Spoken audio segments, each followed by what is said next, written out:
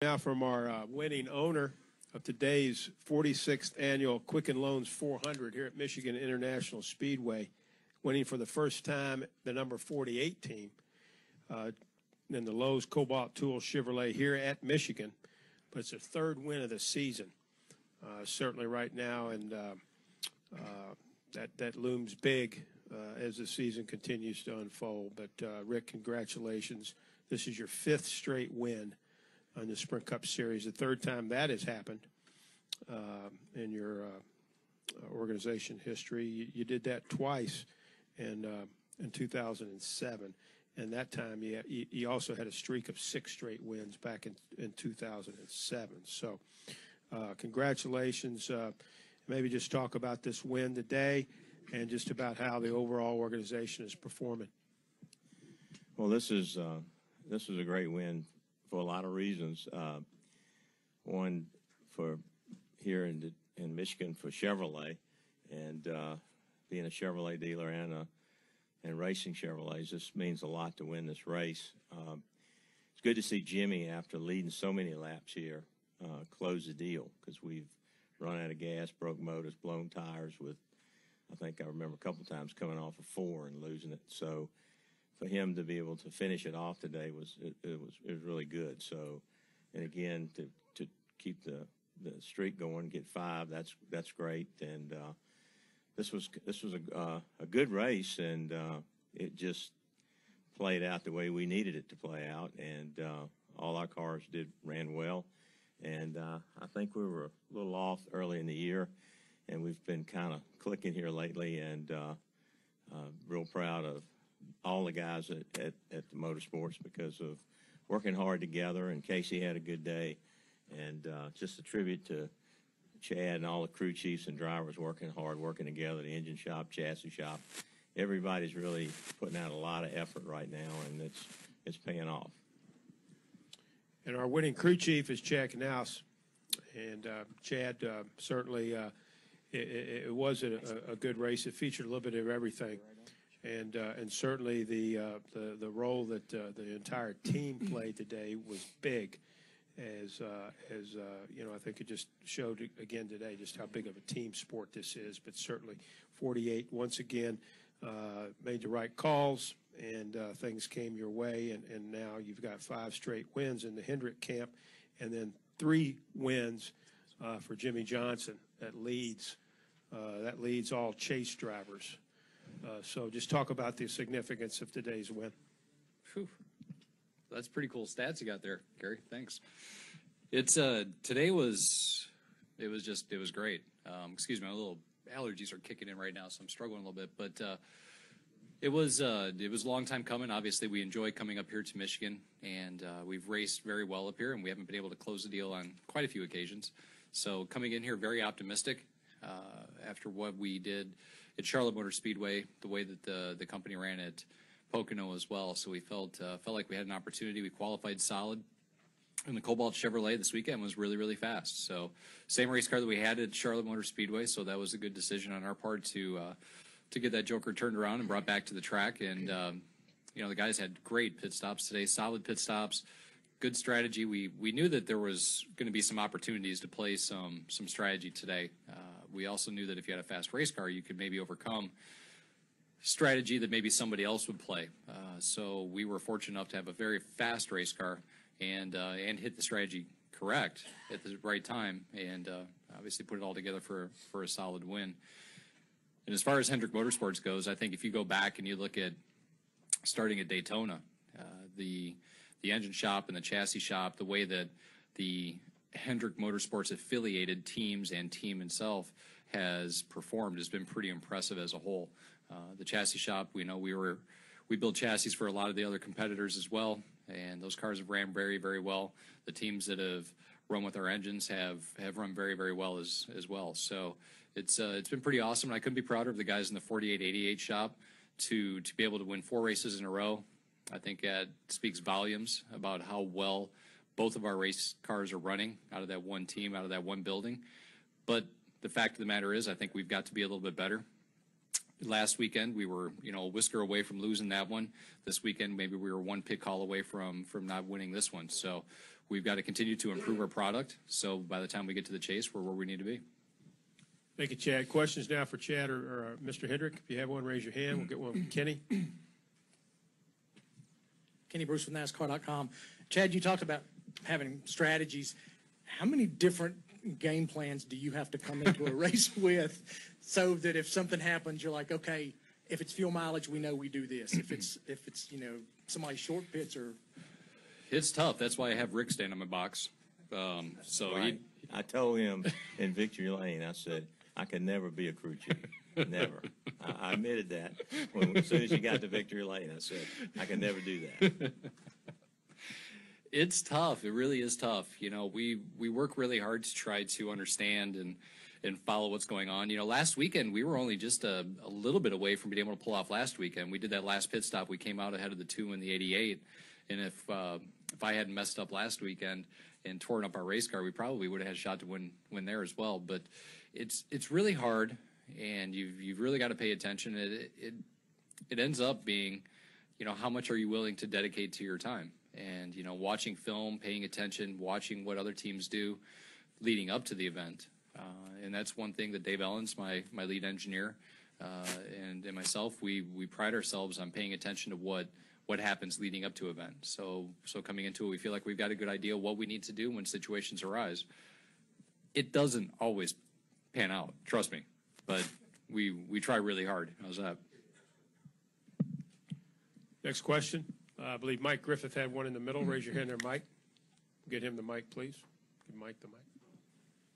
Chad, with what you guys have been able to do the last seven, eight years, the expectations for your team being so high, I know everybody kept a cool hand uh, before Jimmie's first win this season, but when the 48's not winning, is it is it pressure on you? Is it miserable? I know, like I said, I know you guys keep a poker hand, but behind the scenes, I've got, I've got to think the expectation is almost win every week or somebody did something wrong. That is the expectation. Obviously, we uh, we go to the racetrack every week with the hopes and the, the the intent of of winning the race and sitting on the pole and leading the most laps and doing everything we possibly can. The reality is that's that's very difficult to to achieve. Uh, so when we don't run well, I can be grumpy. I would say uh, from time to time, um, but you know that's that's the way it is, and the the expectation is for us to go out there and perform on a weekly basis as the best team out there, and that's that's my expectation, and that's the expectation of all the fans, and especially all you media guys, because if we falter for two weeks, you know we're washed up and we're all getting fired, and you know everything's going crazy. So so if we don't do that, that's the only way to keep you guys quiet. But it's uh it's it's been a great year, and you know we started off a little bit slow. We said coming into it that we thought that it was going to be May time before we were able to hit our stride. And I think that uh, you know May showed up and we started to run a little bit better, and uh, I hope that we can continue to improve. We're joined now by our race winner. Excuse me, that is Jimmie Johnson, and he drives the number 48 Lowe's Kobalt Tools Chevrolet. Um, and Jimmie, uh, happy Father's Day. Thank you. Congratulations on your first win here at Michigan, your third win uh, of the season, and I like how we display that on your uh, name plate there with the uh, Wow. the three wins. And that was quick. Yes. Well, we, we, we like to work quick in NASCAR. We should, Mr. Hendrick, we need to update yours there. I'm sorry. But uh, anyhow, We don't have enough cars. we might not ha- have enough You'd have to uh, have five on deal there, there. or six. But uh, Jimmie, just talk about the significance of today's win. Certainly, uh, as I mentioned earlier, five straight wins now for Hendrick Motorsports, but your third win of the season. And, uh, you know, we still got several to go here before uh, we set the chase field. So just talk about now how that, how your team is, is really starting to kick into gear. Yeah, I'm, just thrilled on, on multiple levels. I mean, the success that we've had as a team and, uh, you know, kind of hitting our stride and, and getting to victory lane three times in the last four weeks. Our teammates and, um, you know, their success, the, uh, the company, and you look at our engines and our cars and what they're able to do. Um, you know, Rick gives us all the tools to go out there and do our jobs and to have everything so fast and so good. Um, you want it to last forever. We know that it won't, but uh, it's just a good time to uh, sit back and reflect and enjoy it. So I'm excited about all those pieces, plus uh, winning on Father's Day, having my family here. Um, having the boss here, he wasn't here at the last race win that we had, so it's fun to see his face in victory lane. Um, for Chevrolet to win in their own backyard, Uh, we need to switch that stat where that other brand wins too much here, and we need to get the, the bow tie more victories here. So, uh, just a, a lot of a lot of things to be happy for. Okay, we'll open the floor up now for questions for either Jimmie, uh, Rick Hendrick, or Chad Knaus. Questions? Let's go to the press box. I know we have one up there. Go ahead, press box. Uh, the, Rachel Lindsay from the Blade in Toledo, Ohio. Uh, this question is for Jimmie. When you were going through those final laps, did you have any flashbacks at all to some of the shortcomings you had here? Did you focus just on completing this race? And how did Chad motivate you in that stretch, and how did you motivate yourself in that? Well, we had we had a good lead, so uh, it allowed me to take care of my stuff. Um, you know, when I heard ten to go, you know, I've been there before with the lead. When I heard five to go, I've been there before. Uh, You know, didn't win, taking the white with the lead and didn't make it back. So I, I was really, uh, you know, I wasn't taking anything for granted on that final trip around. And about 200 yards before the finish line, I knew if the car exploded, I'd still slide across the finish line. It wouldn't matter. So that's finally when I relaxed and, and let it go. Other questions from the press box? We're clear. Let's go back downstairs. Mike, did you have another question? Let's go to Mike right here, please. Just for, for Jimmie, I, I guess it's 69 wins, but when, when you hear first time winner Jimmie Johnson anywhere, is it, is it still, you know, lighten your, your mood or make you happy? And when was the last time you were a first time winner at the racetrack? Can you even remember that? Ooh, that's a good question. maybe Bristol, I think, a couple years ago. Um, I, I can't believe I won to start with. I don't know what Rick saw in me or or Jeff back in uh, 2000, 2001 when they put me in that car. And believe me, when I won my first race, I'm like, I just thought I had these guys snowed, and they're giving me a year to go out and race. They, they, they did see something. So, uh, you know, it is very cool to hear it. And I, I believe me, even at 69 wins, I still cherish them all. It is not easy to win in the sport and uh, just thankful for the opportunity. You know, we've been with Rick and with Chad and Lowe's. You look at that whole um, the synergy of that. We've all been together through this entire ride of the 48, and it's it's special each time we win. Kenny Bruce, right there. Kenny Bruce with NASCAR.com. Rick, I know you've had conversations with these two guys before when things weren't going as well as you'd hoped. But when things are going really well, do you just completely take a hands-off approach and let those guys do what they do? Do you have any conversations with them at all? No, no, no, not really. I mean, well, if they need me, I'm there to help them, but, uh, and they use all the tools that are in the toolbox, but, uh, you know, I, I have nothing, not a whole lot I can add other than just each department doing everything they can do. And I sit in their, their Tuesday meetings and, uh, listen to the feedback from the drivers and the crew chiefs and the engineers, the motor shop and all. And it's just, uh, you know, it, it's got to be a crisis for me to get involved. He's the fireman. he just puts out fires. Let's go back up to the press box for an additional question. Go ahead, please. Uh, Dave Hackenberg from the Toledo Blade for Jimmie. Um, Inside NASCAR, everybody knows about the crew chiefs and the crews. Maybe in the general public, that's not the case. Thirty-five laps to go and on the green, you're in the lead and, and the crew chief says this is the time to do it. Can you talk about the, the faith you have in him and the call he made there? Taking four tires uh, at that point? Yeah, you know, there I could tell in his voice that he was setting up for something, and um, I could sense what it was.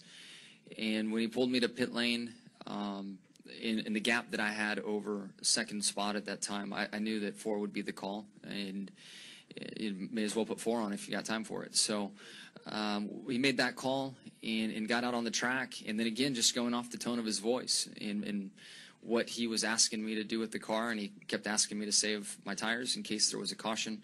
I knew we were good on fuel, so that that gave me a lot of optimism. Um, and then honestly, once we had our four tires on and, and our fuel in our car, if the caution came in, I still think we were golden. Um, you know, we had enough to go the distance where everybody else was still short. So, you know, Chad saw an opportunity and really let that develop and uh, took great advantage of it. And, and you know, sure there was some risk at, at a small window of time in there, but it really was a win-win. Other questions downstairs? Nate? Nate Ryan, USA Today Sports. For Jimmie, uh, when Brad was in here, he said that uh, he felt like Penske had a little bit of an edge on the aero side, but that the Hendricks edge right now in engines is like a full season ahead of where everybody else is. Can you size up where you guys, where you feel you are compared to the competition right now? And is, is Penske kind of like the primary threat outside the walls of Hendrick and SHR right now? I'm not smart enough to tell you if it's aero or motor. I just know our cars are fast. You know, they, run good. Um,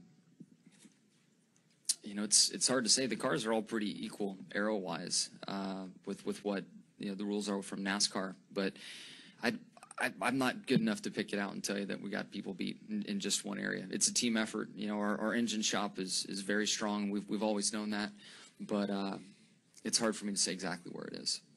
Penske still looking like maybe the other threat outside of Well, I mean, gosh, you look on Fridays and how much speed they have, and you could argue a couple points. You know, maybe they've got great power and able to execute and qualifying trim. Um, I, I don't know. They they seem to have short speed, uh, short term speed, like big short term speed, and uh, we're slowly working our way that direction. Um, you know, but I'd say the car that it seems to be the best car off the truck to win the checkered falls is still the four car, week in and week out. Any other questions? Final question right there, Mike. Jimmie, I asked Chad a similar question earlier about expectations. When you've won as much as you've won, I've got to believe it gets more difficult when you don't win. How do you prevent that from eating away at you, and, and how have you been able to overcome what we've seen so many other teams fall victim to? And when there's expectations, so many teams have hard time repeating or continuing to win. Honestly, I think what's working for us is the amount of time we have together. And we've lost races together, we've lost championships together. And certainly we've had success, but you know, 69 wins and six championships out of 13 years of racing is a pretty small percentage. You know, some of the wins or some of the losses you have are, you know, you got what you could that day and you went on, but a lot of those losses in there sting. And I think experience through those moments make us stronger and better. Um, everybody knows about 2005 and, and you know, Milk and Cookies meeting that Rick had with us. I think from that moment on, you know, we were able to be more comfortable, oddly enough, in our own skin, and as a part of Team 48. And um, you know, nobody's going anywhere. You know, we're we're in this thing together, and, and we are Team 48. So, falling back on that is really what I tell myself, and uh, you know, helps us through whatever the stretch might be. Congratulations to the number 48 team for their win here today, and continued best wishes to uh, 48 team and Hendrick Motorsports the remainder of this season.